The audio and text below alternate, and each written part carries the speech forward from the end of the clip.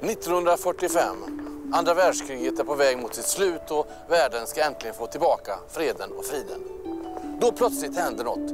Den 31 mars föds lille Ingvar Gunnar Oldsberg och han flyttar in i det här gula huset någon mil utanför Göteborg. Och det visar sig snart att lille Ingvar är Mölnlyckes svar på Emil i Lönneberga. Ingvars mamma heter Solveig, hemmafru. Pappa heter Gunnar, ingenjör. Men han fuskar lite som trollkarl och han har eh, med hjälp av sin magiska stång, eh, han och mamma, trollat fram eh, två bröder, Ingvar och lillebror Peter. Ingvar var ett snällt barn, men precis som Emil så liksom bara råkar det hända saker ibland. Som när kompisen Ronald orättvist nog hade fått en alldeles ny leksaksbrandbil. Och Ingvar liksom bara råkade ha sönder den. Oj då. Oj då. Oj då.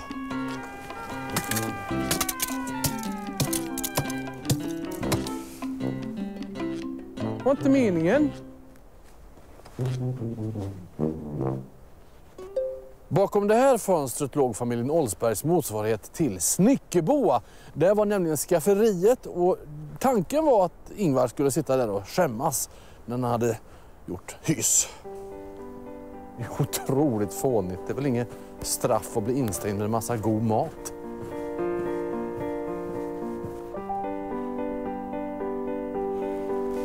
När lille Ingvar börjar eh, här uppe på kyrkskolan gör mamma Solveig klart en sak för honom. Först bok, sen boll. Mamma vet nämligen att lille Ingvar är fullständigt sporttokig. Och fullständigt tokig, ja det tror granntanten att lille Ingvar har blivit när de ser honom komma cyklande hem från skolan och liksom pratar högt och osammanhängande för sig själv. Men vad granntanterna inte vet om det är att lille Ingvar redan nu har börjat träna på att bli sportkommentator. Olle till Kalle, Kalle till Olle, Olle till Kalle och det är mål! Arne Thorin, New York.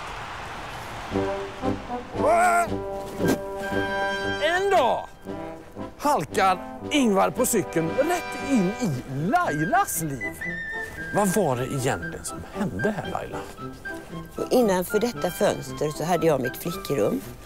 Och hit kom Ingvar cyklande på nätterna inifrån stan, alltid på olika cyklar. Och så ställde han den mot väggen, klättrade upp och knackade på fönstret. Och jag öppnade och sen stod vi och pratade.